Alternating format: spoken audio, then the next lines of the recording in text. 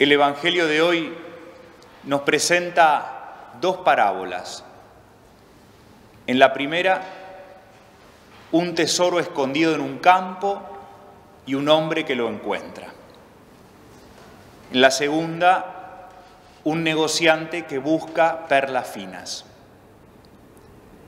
Son parecidas, pero también son muy distintas estas dos parábolas.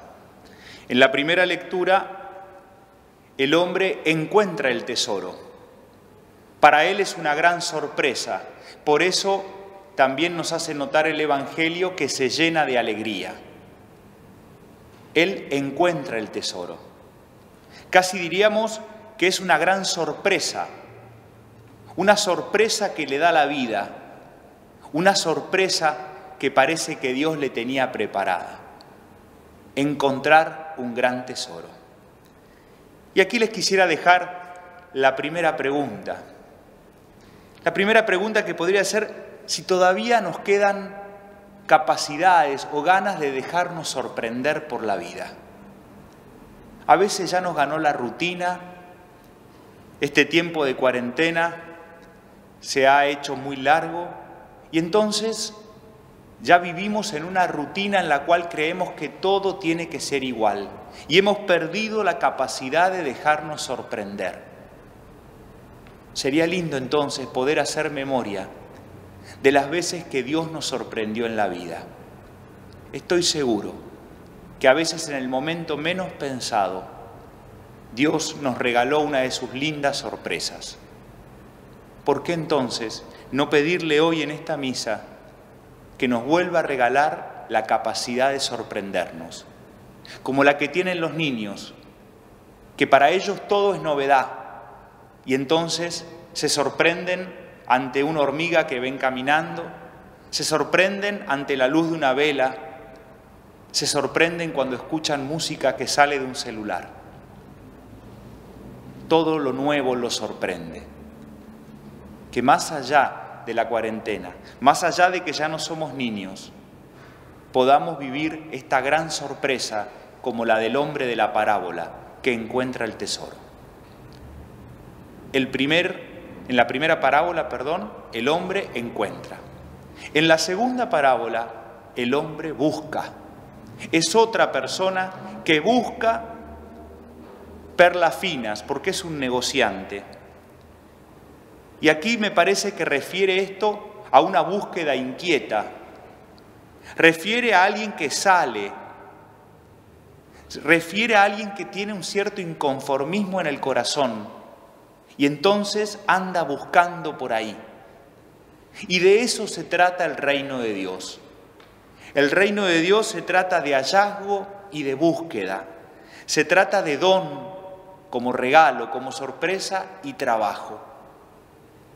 Por eso quería pedirles que nos dejemos sorprender por Dios, pero que también lo salgamos a buscar en las pequeñas cosas de todos los días en la vida cotidiana, en casa, quizá en la vida más sencilla, como decíamos ya el domingo pasado, entre ollas, limpieza de casa, trabajo virtual, allí está Dios, que ojalá nos sorprenda, pero salgámoslo a buscar.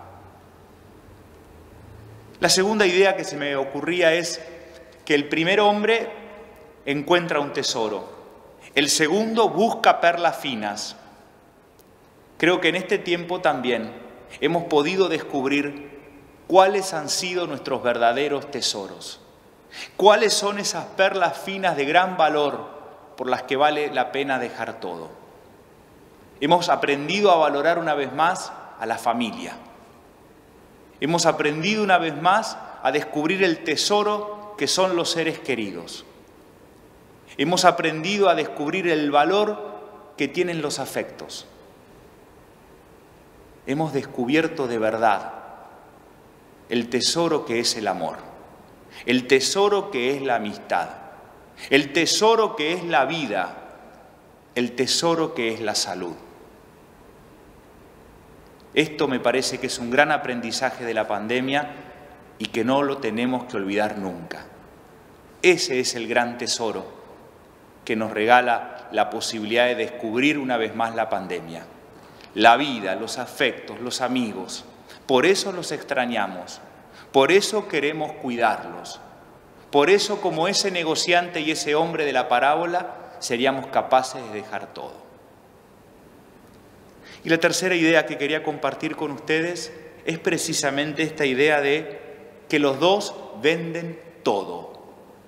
Quería concentrarme en esta palabra, todo. El todo refiere al máximo esfuerzo. El todo refiere a jugarse por completo. El todo refiere a lo absoluto. Estos hombres venden todo, dejan todo, se juegan todo cuando descubren el tesoro, cuando descubren el valor de la perla. Nosotros también conocemos gente que se jugó todo. Nosotros también conocemos gente que ha dado todo, que ha dejado todo. Pienso como ejemplos los migrantes, los hermanos venidos de otros países y también venidos de otras provincias del interior de Argentina, que han dejado todo buscando un buen futuro para sus familias.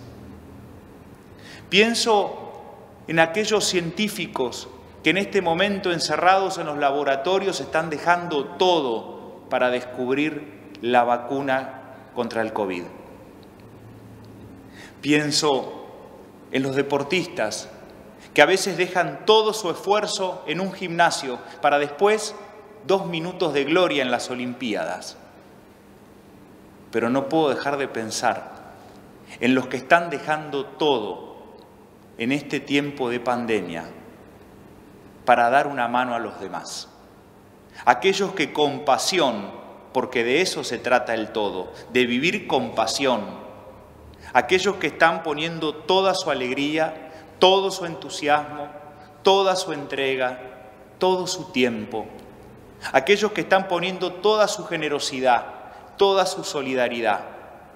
Voluntarios en la iglesia, pero por supuesto también en otras organizaciones. Aquellos que, como decimos siempre, están a la altura de las circunstancias. No ponen todo en palabras, ponen todo en hechos, ponen todo en acciones, porque han descubierto que hoy el tesoro pasa por el amor al prójimo, hoy el tesoro pasa por cuidarnos entre nosotros, Hoy el tesoro es cuidar la salud de nuestros hermanos, especialmente de los más frágiles, saciar su hambre, saciar su angustia y acompañarlos de cerca.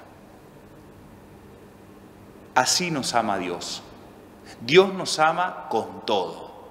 Dios nos ama de manera apasionada. Y así nos ama Jesús. Por eso Jesús dice Juan 13, nos amó hasta el extremo, es decir, nos amó con todo. Y eso es lo que estamos tratando de hacer en este tiempo, vivir como Dios nos pide ese mandamiento del amor, vivir con todo. El mismo Jesús nos lo recuerda cuando en el Evangelio de Lucas nos dice, amarás al Señor tu Dios con todo tu corazón, con toda tu alma con todas tus fuerzas, con toda tu mente. Y dentro de ese amor total es donde está el amor al prójimo. Francisco nos recuerda siempre que el verdadero amor es un amor apasionado, es un amor con todo.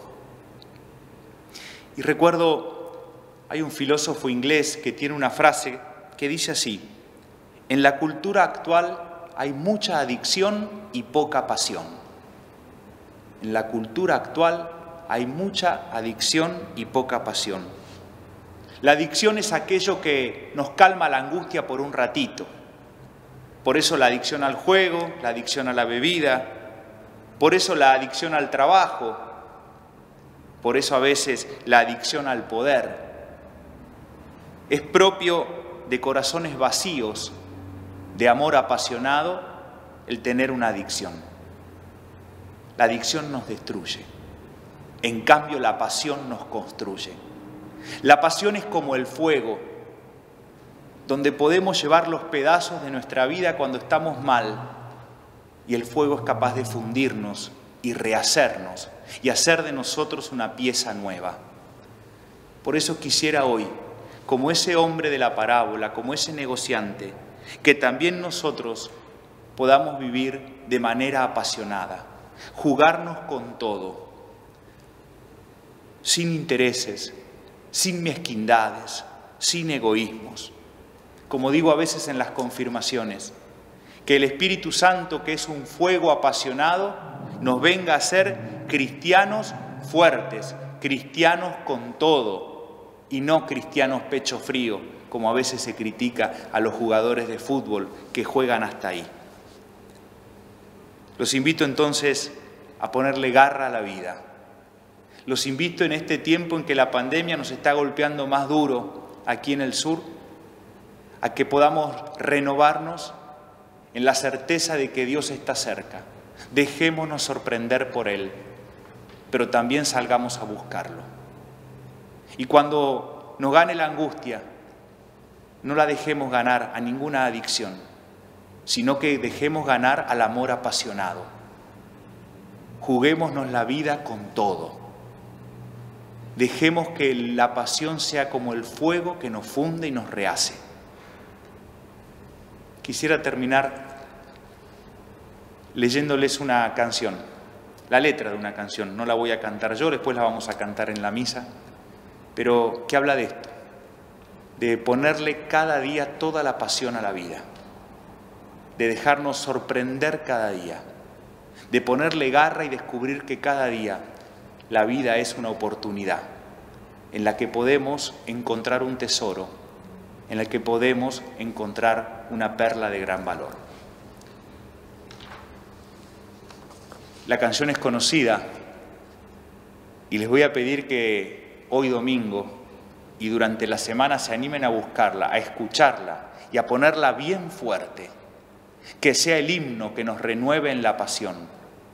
Que sea el himno que nos anime a poner todo en la cancha, mucho más en estos días difíciles. Hoy puede ser un gran día, plantéatelo así. Aprovechar lo que pase de largo depende en parte de ti. Dale al día libre a la experiencia para comenzar y recíbelo como si fuera fiesta de guardar. No consientas que se esfume, asómate y consume la vida a granel. Hoy puede ser un gran día, duro con él.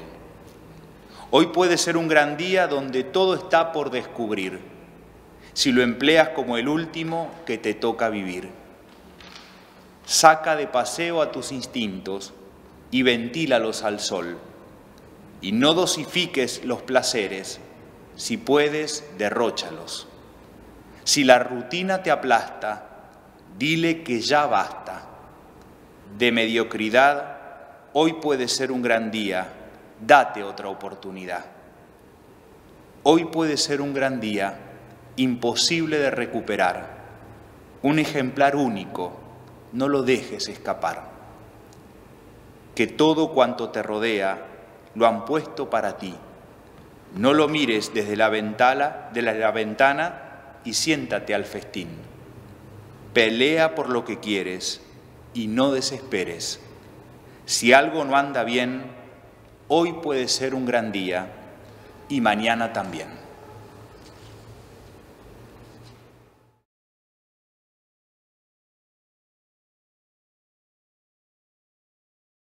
hablando de esto del amor apasionado, compartirles un texto muy breve del Papa que después, como siempre, lo vamos a poder encontrar en las redes sociales. Es un texto de una exhortación del Papa que se llama Gaudete exultate, ¿eh? alégrate y regocíjate. Y dice así el Papa. El testimonio de los santos nos recuerda que la Iglesia no necesita tantos burócratas y funcionarios, sino misioneros apasionados devorados por el entusiasmo de comunicar la verdadera vida del reino. Los santos nos sorprenden, desinstalan, porque sus vidas nos invitan a salir de la mediocridad tranquila y anestesiante.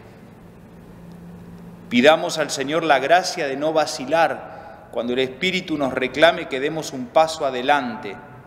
Pidamos el valor apostólico de comunicar el Evangelio a los demás y de renunciar a hacer de nuestra vida cristiana un museo de recuerdos. En todo caso, dejemos que el Espíritu Santo nos haga contemplar la historia en la clave de Jesús resucitado. De ese modo, la Iglesia, en lugar de estancarse, podrá seguir adelante acogiendo las sorpresas de Dios. Cristianos apasionados que acogen, que reciben las sorpresas del Señor. Y como les dije, los invito hoy domingo, pero quizá en la semana también, a poner esta canción. Hoy puede ser un gran día de Joan Manuel Serrat, ponerla fuerte, ponerla cuando estén limpiando, que los vecinos pregunten, ¿estás loco? Sí, estoy loco porque quiero darme la oportunidad de vivir cada día de manera apasionada. Quiero darme la oportunidad de encontrarle a cada día de este tiempo tan difícil los signos de Dios, los signos del reino. Quiero salir a encontrarme con Dios, quiero salir a buscarlo a Dios. Y cada día es una oportunidad. Así que duro con Él. El Señor esté con ustedes. Que Dios nos bendiga a todos, que nos sostenga en este tiempo difícil, que nos anime en la esperanza el que es Padre, Hijo y Espíritu Santo, dispuestos a encontrar signos del reino en la vida cotidiana, nos podemos quedar en paz. Muy buen domingo, buen almuerzo para todos y muchísimas gracias.